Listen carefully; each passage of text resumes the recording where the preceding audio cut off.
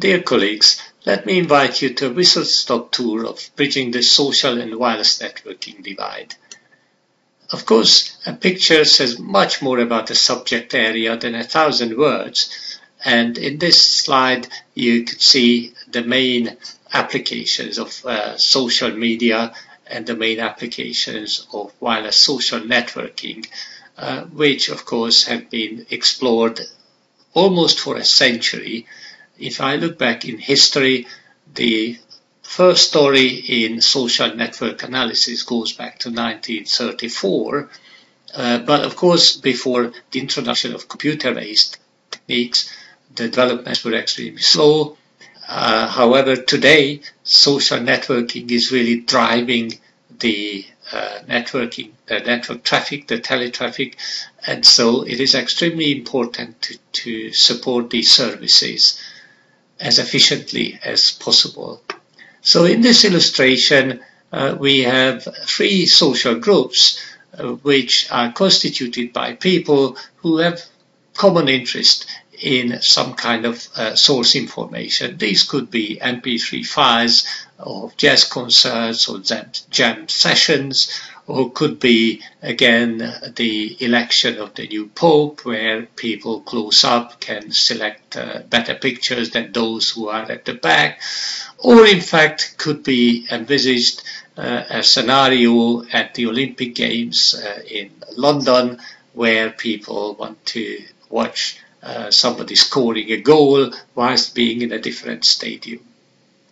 So this is really just a motivation of our research and as I already mentioned, much of the teletraffic is really driven by social media, whether we call this device-to-device -device communications or personal communications, the terminology is not so important. This treatise looks at a gradually ramped up study of a range of design problems uh, that range social networking and wireless networking.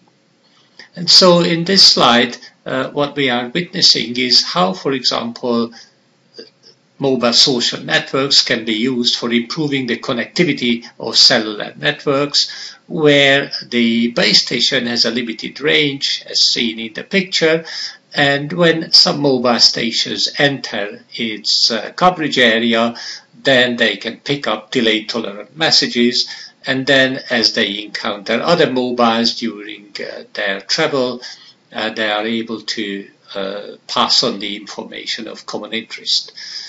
On the right hand side, it's quite clear that the base station is no longer transmitting, uh, but the mobiles are exchanging information as indicated by the red, no, rather the green arrows. So perhaps uh, I would like to also uh, invite you to a little demo which you can play of course at your own leisure.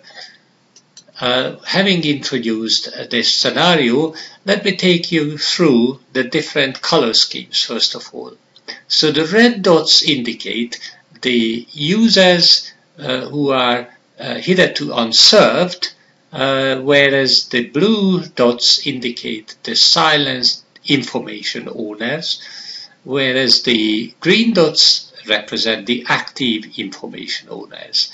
There's also the, the light uh, magenta colored dot which indicates those unserved users who eventually get into the coverage area of the base station as seen in the center right now and the dot turned uh, dark blue because this mobile succeeded in downloading a file as you see down at the bottom of 40 megabytes. Uh, the bit rates here in this scenario are 1 megabps or 2 megabps and so in theory that implies that the download takes uh, 40 seconds.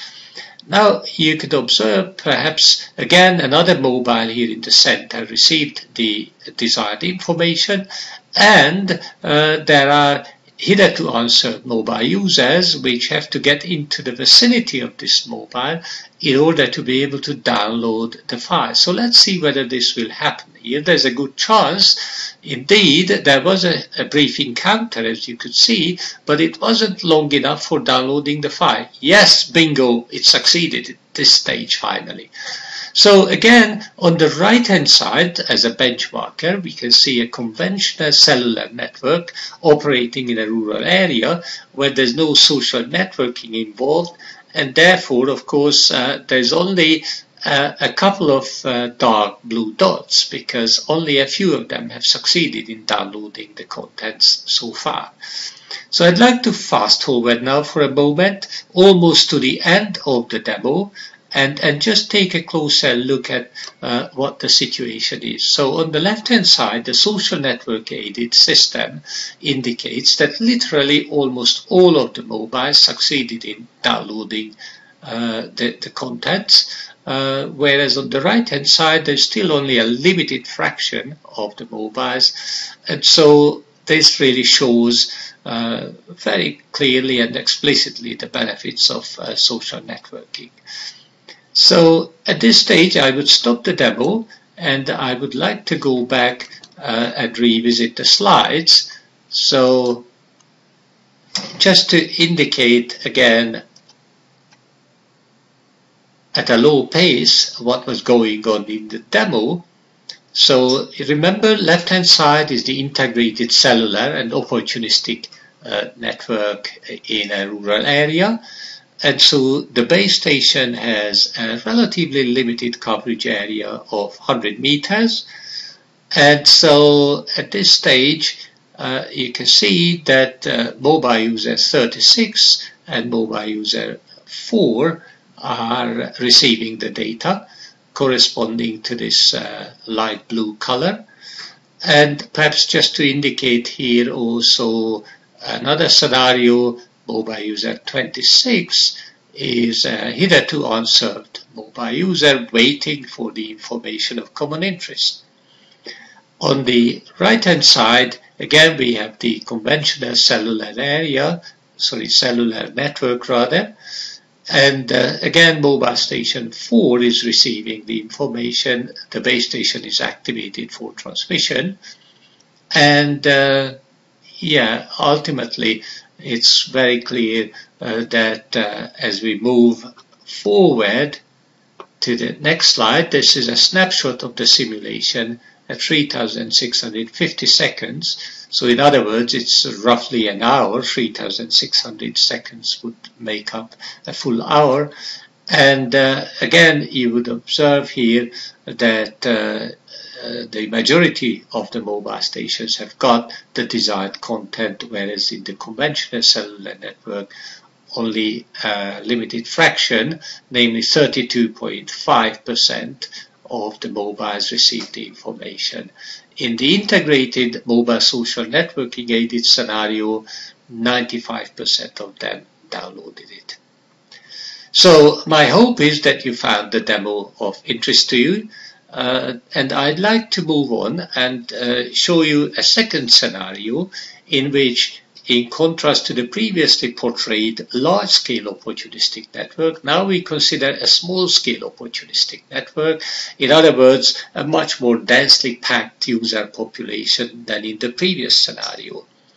So the difference between the previous uh, large scale and the current small scale scenario is essentially that owing to the fact that there is a large user density, we have to control the interference. I will not talk about the frame structures here. Suffice to say that we simply use time division multiple access in order to ensure that the uh, coordination of the mobile stations prevents excessive interference. So the first stage of the operation is that the base station broadcasts the information and the four mobile stations here pictured uh, receive the information. Well, eventually only uh, mobile station A receives the information, but now this mobile is in the position to be able to pass it on to B, C, and D. And so during the stage two operation, as you can see, uh, that uh, mobile station B also received the information. And so there's an ever increasing number of information or content owners who are willing to disseminate the information. Of course, there's a huge variety of issues which one has to consider and that are of course discussed in the paper as well, including uh, issues such as how altruistic the mobiles are, etc. So my hope is that you have enjoyed the demo and please uh, read the paper at your leisure and uh, you can also uh, follow up the operation of the system at a low pace demo.